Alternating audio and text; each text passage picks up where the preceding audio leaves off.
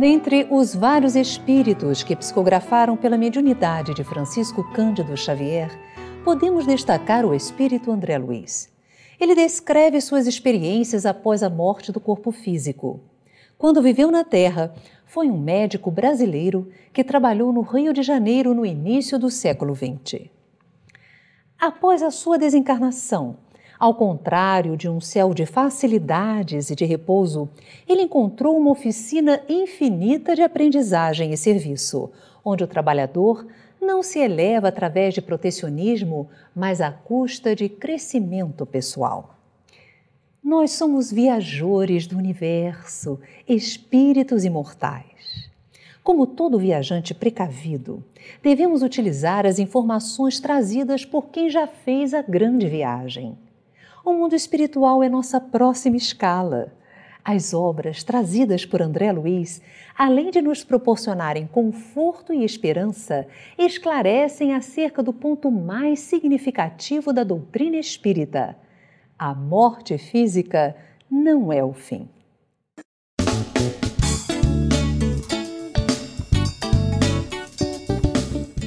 André Luiz, através de Chico Xavier, escreveu 13 livros conhecidos como a série A Vida no Mundo Espiritual, com destaque para o livro E a Vida Continua, que foi adaptado para a TV, dando origem à telenovela A Viagem.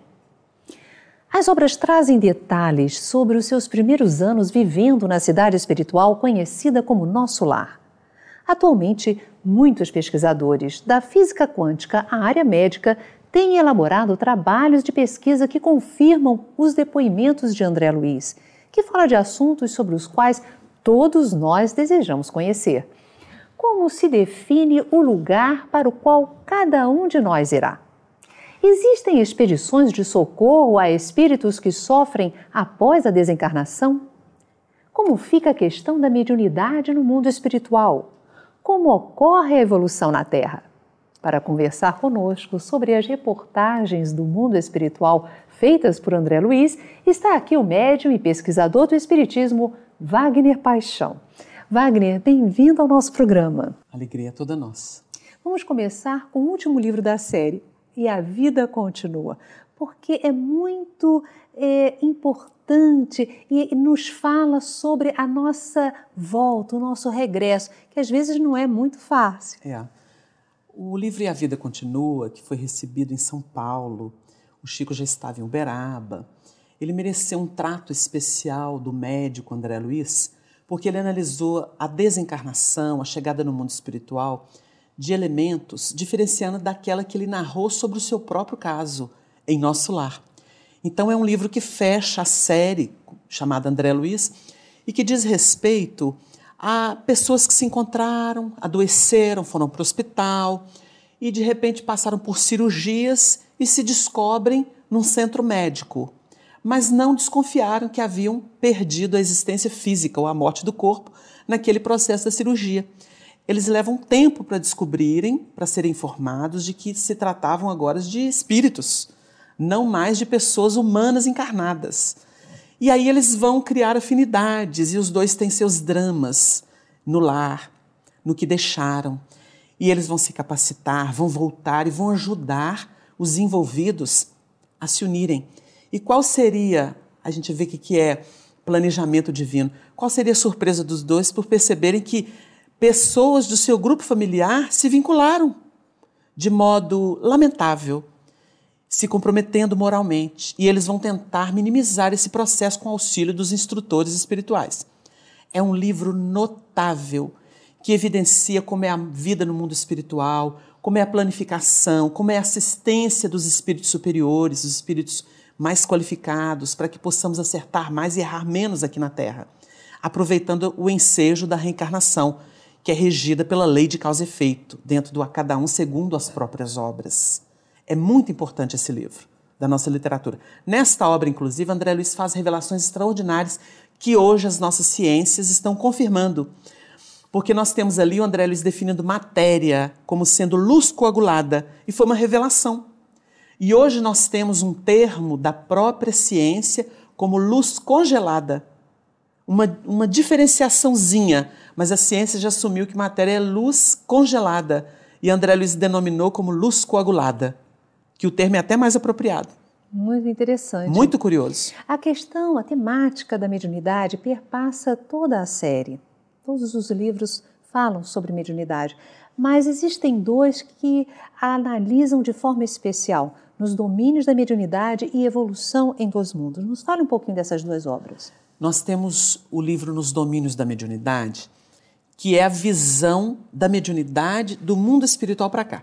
Então, Arnaldo Rocha, que é o esposo de Meimei, ele conversando com Chico, depois que o Chico recebeu este livro, ele comentou, falou, Chico, esse, este livro é tão precioso porque nós estamos com Kardec analisando a mediunidade daqui para lá e estabelecendo os critérios de segurança para que a criatura não caia em mistificação, em obsessão, a qualificação do médium, a mediunidade que é generalizada, porque todos somos médiums, porque nós pensamos, temos a cripta mental extravasando a linfa do pensamento que tem mão dupla. Nós emitimos e recolhemos, associando ondas mentais.